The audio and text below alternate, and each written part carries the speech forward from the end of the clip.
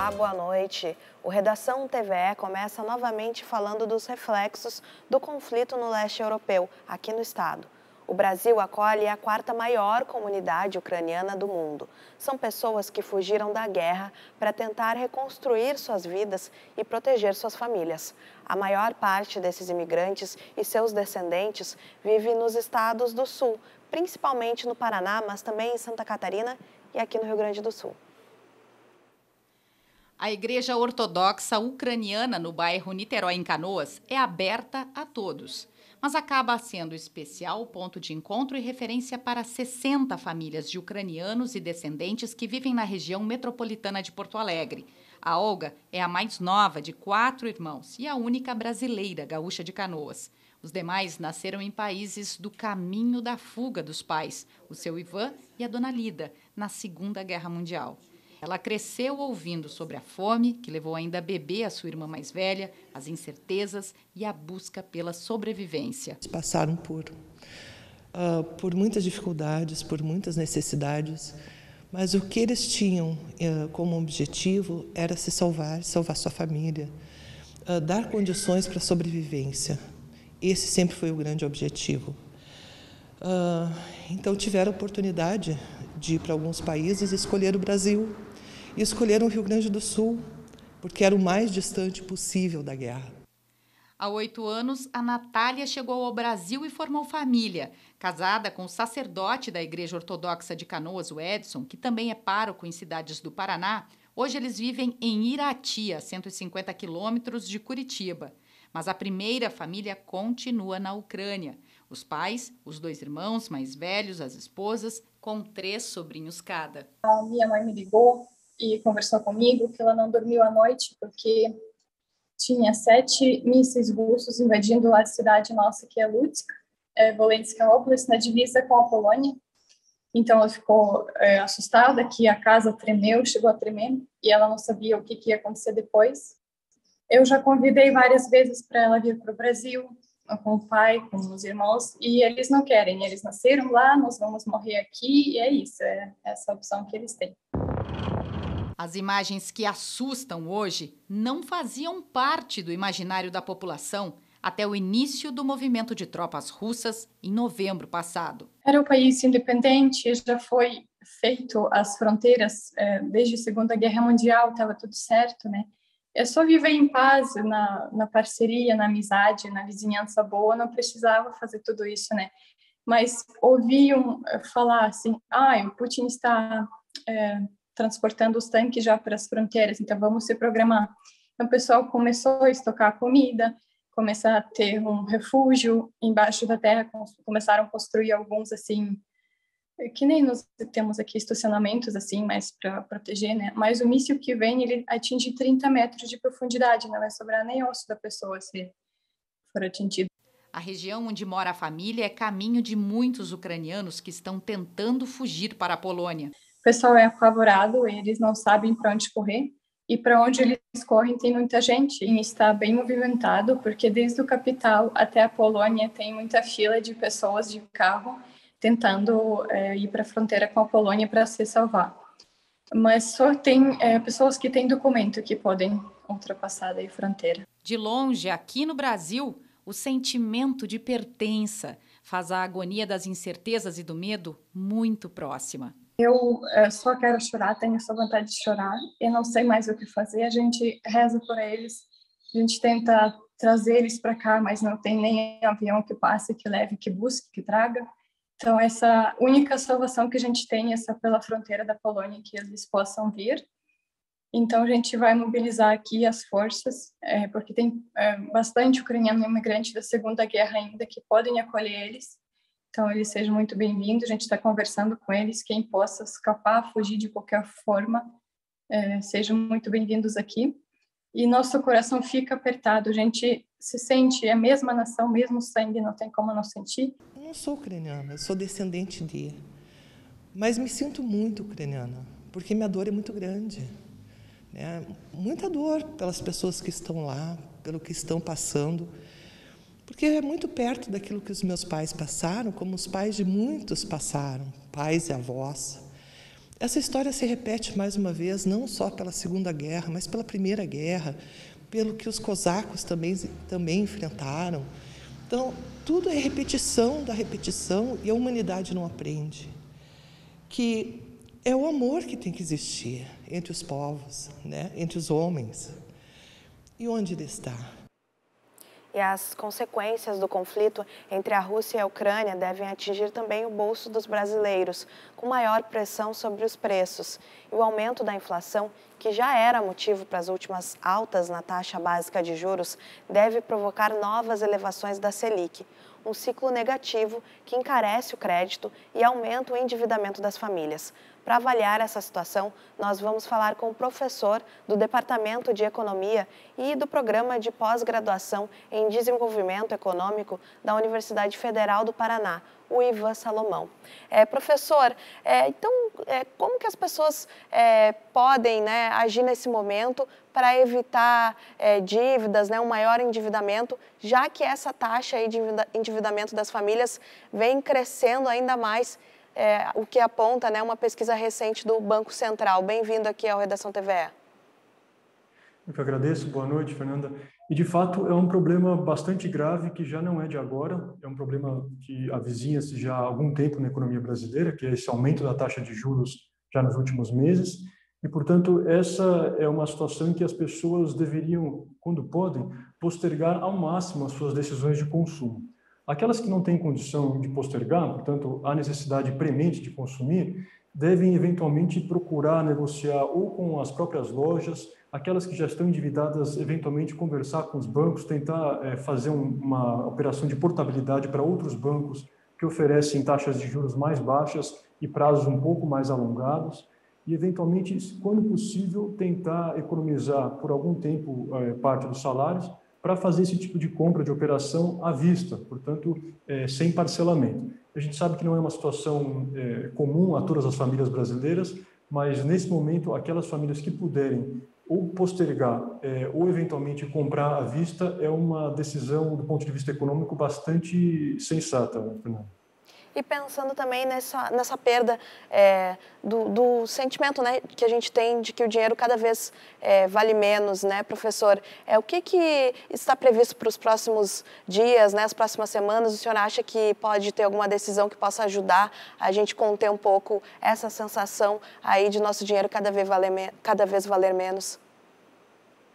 Pois é, essa também é uma situação, como eu disse, já também não é de agora, né? É, a, o real, a moeda brasileira, é uma das que mais se desvalorizaram nos últimos meses e, portanto, é, com uma taxa de câmbio tão desfavorável é, do ponto de vista das relações internacionais, tudo acaba repercutindo é, no bolso dos brasileiros que consomem os produtos mais simples possíveis, como, por exemplo, é, o pão, que derivado do trigo, né, o macarrão, esse tipo de alimento tão comum e tão presente na mesa do brasileiro, é, é bastante possível que isso tenha um impacto bastante grande agora com o conflito armado na Europa entre a Rússia e a Ucrânia e, portanto, é, como disse, a situação para os brasileiros que eventualmente conseguirem substituir eventuais produtos, a gente sabe que não é simples, né? O pão é um produto bastante brasileiro e bastante é, caro e bastante importante na dieta do país, mas eventualmente se proteger desse tipo de situação que é bastante possível que vá ser agravado nos próximos dias ou semanas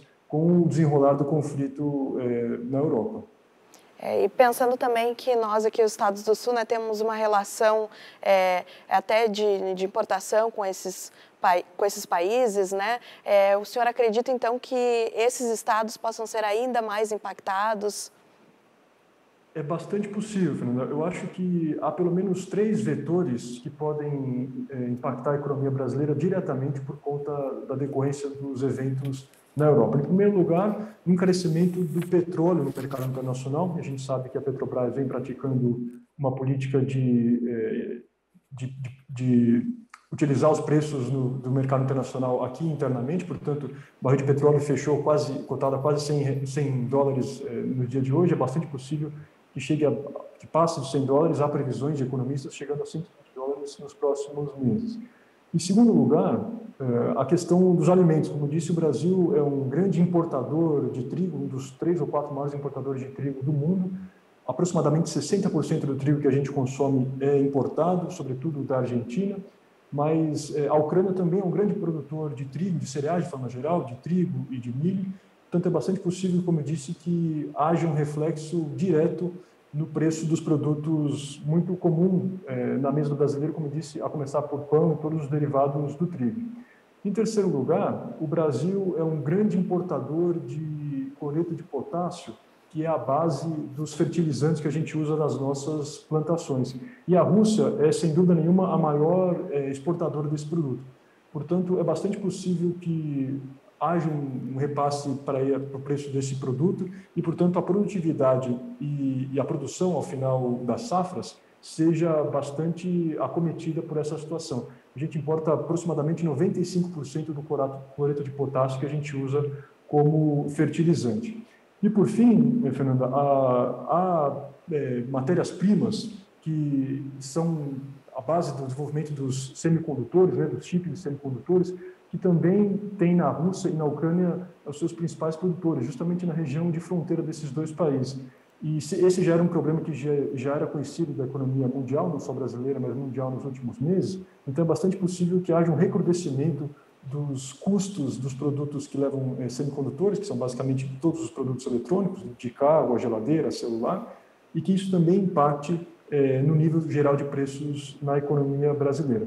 E a própria desvalorização da taxa de câmbio decorrente de uma certa instabilidade no mercado financeiro e na economia mundial também tem impacto é, no repasse de determinados custos, não só do petróleo, como eu havia comentado, dada a política da Petrobras, mas todos os outros tipos de produtos importados que a gente consome. Então, é bastante possível que a gente tenha um reflexo bastante negativo nos próximos, nas próximas semanas ou nos próximos meses decorrentes dessa situação na Europa. A gente tem que se preparar, então, né? Muitos reflexos.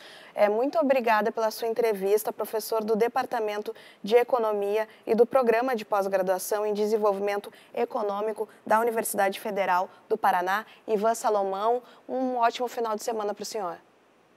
Eu que agradeço. Boa noite. A implosão do prédio onde funcionava a Secretaria da Segurança Pública do Estado vai acontecer no dia 6 de março, um domingo, às 9 da manhã. A data foi confirmada hoje pelo governo. A sede da Secretaria de Segurança foi destruída por um incêndio em julho do ano passado. Os especialistas que trabalham com o Estado e a Prefeitura de Porto Alegre prevêem que a operação vai deixar 20 mil toneladas de escombros no terreno da Rua Voluntários da Pátria, em uma das entradas da capital gaúcha. Serão evacuados estabelecimentos e residências em um raio de 300 metros a partir do prédio. A estação rodoviária e algumas estações da Transurb terão que fechar nas primeiras horas da manhã. Também estão previstos bloqueios de trânsito na área. Se tudo correr bem, a situação ficará normalizada antes do meio-dia. Mesmo sem haver oficialmente carnaval, devido ao aumento de casos de Covid-19, muita gente vai pegar a estrada rumo ao litoral e interior do estado no feriadão. Na rodoviária de Porto Alegre, a expectativa é de que 25 mil passageiros deixem a capital. O número é quase a metade do público que viajava no mesmo período antes da pandemia. Na Freeway, o maior fluxo deve ser nesta noite e no sábado. Conforme a concessionária que atende a rodovia, a previsão é de que mais de 450 mil veículos passem pela freeway durante o feriadão. Para facilitar o trânsito, pode haver liberação do acostamento como faixa adicional para motoristas nos dois sentidos da rodovia. A ação é conjunta com a Polícia Rodoviária Federal e pode ocorrer nos trechos de Osório e Gravataí. Nesse caso, a concessionária deve colocar painéis piscantes e placas indicativas nos locais, com orientações aos motoristas. Na RS 118, no final da tarde, o trânsito de veículos aumentou. Desde a zero hora dessa sexta-feira, mais de 61 mil veículos já passaram pelas praças de pedágio da empresa gaúcha de rodovias. E vamos ver como deve ficar o tempo neste começo de feriadão de carnaval aqui no estado.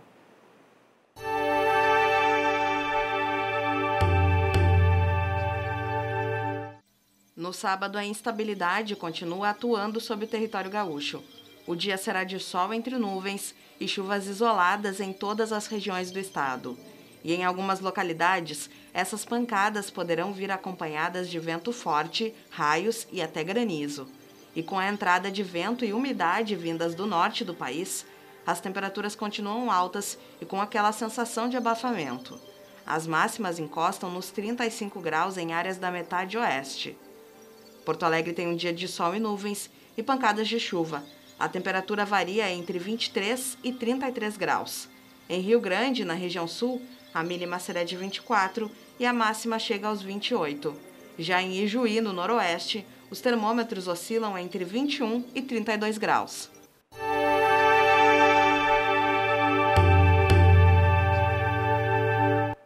Quem vai curtir o carnaval neste feriadão ou vai aproveitar a folga para viajar e se reunir com amigos e parentes, não deve esquecer das medidas básicas de cuidados sanitários em função da Covid-19.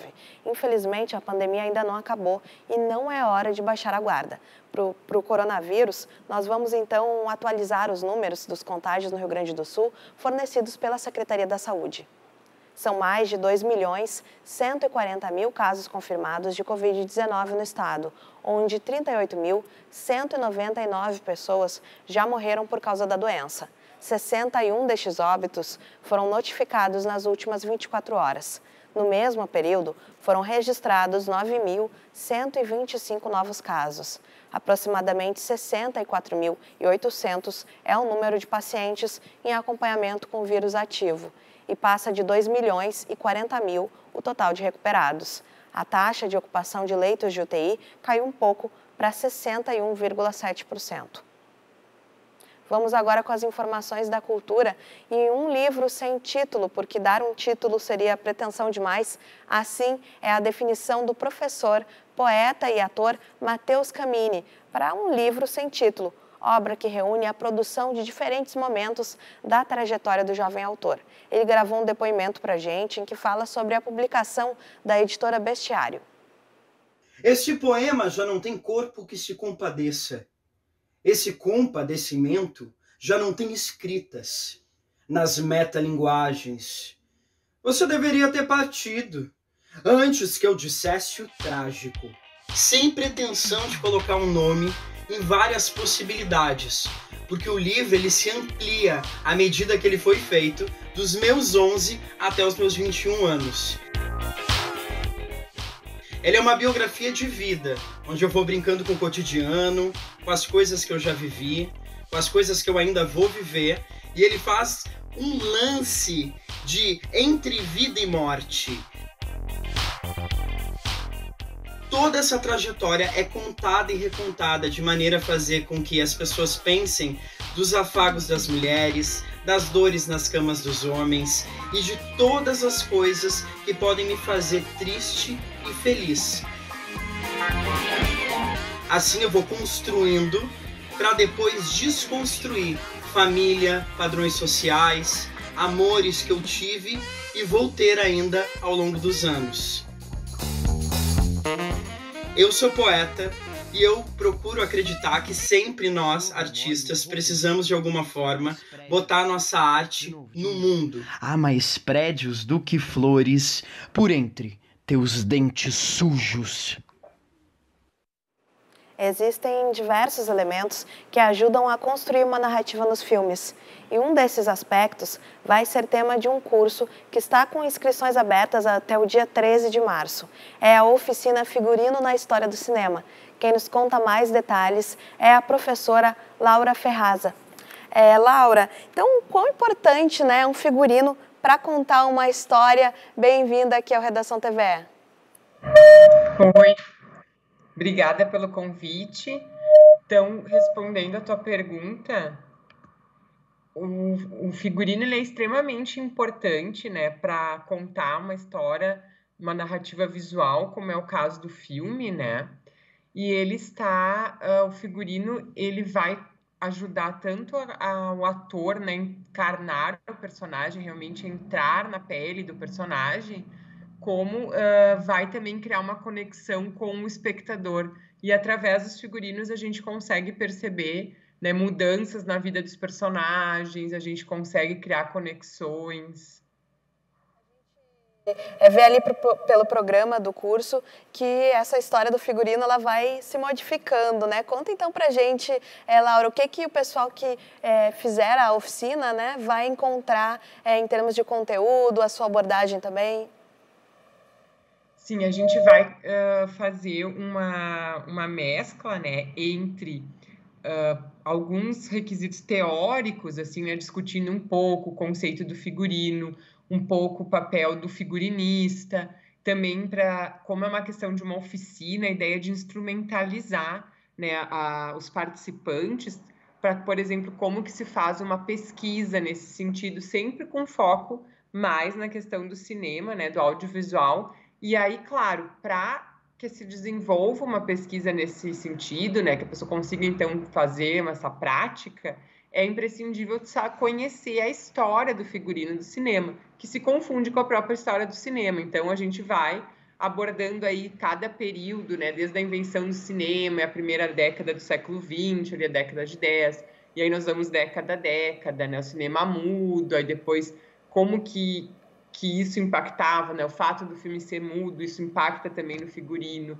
Como que a própria categoria do figurino vai se profissionalizando ao longo da história do cinema, né? Então a gente também vai, vai avançando para todo o século XX, né? Dividindo assim por, por décadas, que eu acho que, que ajuda bastante a, a compreender e sempre conectando essa questão do figurino, né? Com a, a questão da moda daquela da época, que muitas vezes tem uma relação bem intensa, né? É impossível que mesmo num filme de época, algo da época em que o filme é feito não apareça, o figurino é um lugar, um espaço onde isso normalmente é percebido, né? E, e a gente vai conseguir então construir esse histórico e ter bastante ferramentas para quando a pessoa tiver aí que fazer uma pesquisa, trabalhar com esses assuntos, ela vai ter um conhecimento bem bacana, né, visual, instrumental aí, que vai ajudar nessa, nessa profissionalização. As inscrições vão até o dia 13 de março, né, Laura? É, o site é cultura.rs.gov.br e antes de encerrar, é, eu queria é, que você contasse para a gente assim, o papel né, é, desse setor da moda é, e de que forma ele contribui para a nossa economia aqui, né, para a geração de renda, de emprego, já que o nosso audiovisual é tão forte, né? Sim, com certeza a, a, o setor do figurino, né, que vai mobilizar vários profissionais, né, desde designers, pesquisadores, uh, as próprias pessoas que vão executar, né, os costureiros, costureiras, então a, os fornecedores, né, desse, desse, da matéria-prima para a confecção do figurino. Então é toda uma cadeia produtiva. Até eu comentei numa entrevista hoje pela manhã, né, que, por exemplo, até mesmo o mercado de roupas usadas ele pode ser mobilizado também na, na em alguns momentos, né, na confecção de figurinos, enfim. Uh, então, realmente envolve um bom número de profissionais, né, uma área que tem bastante força, como tu disse, que agora só vem a, a crescer mais né, a partir desse momento. Acho que veio uma um desejo pós-pandêmico aí de ampliar ainda mais esse setor e é imprescindível que, que existam profissionais né, dentro okay. dessa área capacitados. Muito obrigada, viu, Laura Ferraza, e sucesso aí nas inscrições e no curso Oficina Figurino na História do Cinema. Obrigada e ótimo final de semana. Muito obrigada, igualmente. Tchau, tchau. Tchau, tchau. O período de carnaval no estado terá atrações para todos os gostos. Confira nossa agenda cultural com os eventos no feriadão praça. Logo mais às 10 da noite, o Grupo Tribo Brasil traz pelo sexto ano consecutivo ao Espaço Cultural 512 um autêntico baile de carnaval à fantasia. A banda é conhecida pela execução de diversos ritmos brasileiros. No repertório, sucessos carnavalescos, antigas marchinhas carnavalescas e elaborados frevos instrumentais. Os ingressos podem ser adquiridos no local. Doce menina, no meio do ataque assistiu de hoje até segunda, o espaço Ink Fusion Tattoo Bar em Imbé recebe diversas atrações musicais nesse feriadão de carnaval. Nessa sexta, quem sobe ao palco é o cantor Carlinhos Carneiro e o duo dos Danadões. A entrada no bar é livre das 7h45 às 9 da noite. A programação, reservas e outras informações podem ser obtidas no contato que aparece na tela. Dançando no Amanhã é dia de bailinho de carnaval infantil no Shopping Total. Vai haver concurso de fantasias, premiações, pintura de maquiagem artística para crianças e bolhas de sabão gigantes, oficina de balões, feira com produtos artesanais e música com DJ. O evento acontece das 10 da manhã às 7 da noite no Largo Cultural, com entrada franca. Em caso de chuva forte, o encontro vai ser adiado para o sábado seguinte. Informações em shoppingtotal.com.br. A banda de rock Blackbirds realiza show especial nesse sábado às 8 da noite na Wine Garden em Bento Gonçalves. A apresentação integra a programação do evento Carnavale. No repertório, músicas que foram imortalizadas pela banda nesses mais de 20 anos de carreira musical. Informações no Instagram que aparece no vídeo. Eu esperei demais. A Cuscubaio chega pela primeira vez ao Espaço Refúgio em Caxias do Sul nesse sábado de carnaval. Eles apresentam grandes sucessos da banda e canções inéditas que vão constar no próximo disco intitulado Não É Bem Assim. O show se inicia às 10 da noite e os ingressos estão disponíveis na plataforma Simpla. A mesma pessoa de sempre, parada no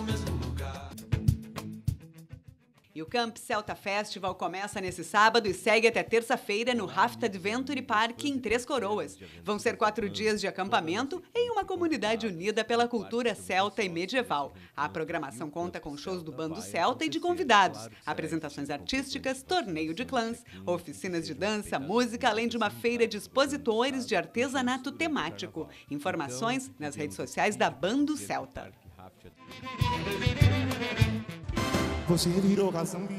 Para quem quiser curtir um carnaval com boas atrações no litoral gaúcho, a Maori Beach Club em Xangri-Lá terá atrações de peso para os amantes de samba e pagode. Nesse sábado, a casa recebe Alexandre Pires com o baile do Nego Velho 2, Atitude 67 e a banda de pagode Eu Sei Que Tu Dança.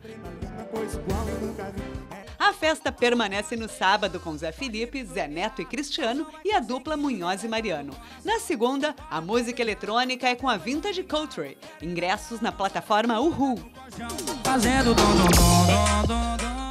E hoje é dia de Estação Cultura na tela da TVE, a partir das nove e meia da noite. Um clima de carnaval um programa super especial com pouca conversa e muita música. E a nossa convidada é a talentosa e multifacetada Pamela Amaro. Ainda resta um lugar na nossa escola. Desça da arquibancada e vem sambar o imperador. Para mim é um prazer estar aqui no teu programa, a gente poder compartilhar. Sempre fico muito feliz, me sinto em casa na, na TV. Vai mudar, eu serei tratada como gente por aí. Terei casa e comida e um trabalho aonde ir. As crianças todo. A gente encerra o Redação TVE com o clipe da canção Os Astronautas Voltam Sempre Estranhos, da banda porto-alegrense Cine Baltimore. O vídeo foi gravado antes da pandemia, mas foi lançado apenas nesse mês, quando a banda retornou aos palcos com apresentações presenciais. A faixa faz parte do álbum Na Rua, que está disponível em todas as plataformas digitais. Você confere agora um trecho do clipe e a seguir fica com as notícias nacionais do Repórter Brasil. Ótimo final de semana e se cuide!